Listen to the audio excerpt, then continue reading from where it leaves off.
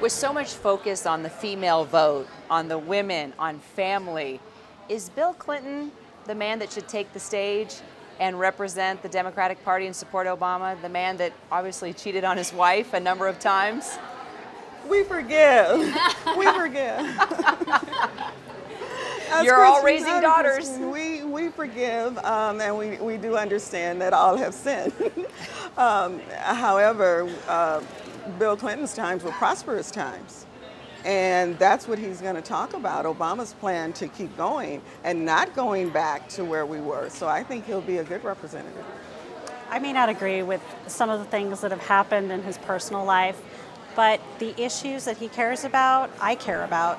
And so I think he's a great representative of the party. Yelena? I would agree. For me, it's a matter of issues. I think as a, as a husband, he certainly has lacked character. I don't know how the Clintons have rectified that moving forward, but in terms of policy, I, I agree with him, and he doesn't want to use those policies to make women turn back the hands of time. It is interesting that Bill Clinton is the one speaking when, from all the moms we've talked to, they want to see Hillary speak. I mean, I think there's a tremendous amount of disappointment among women and moms that Hillary is not speaking. Hillary is running the world right now. She's a little too busy for the convention, right?